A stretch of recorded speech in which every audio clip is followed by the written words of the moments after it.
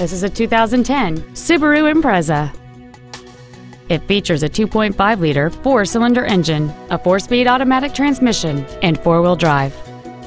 Its top features include a locking differential, a low tire pressure indicator, traction control and stability control systems, alloy wheels, and much more.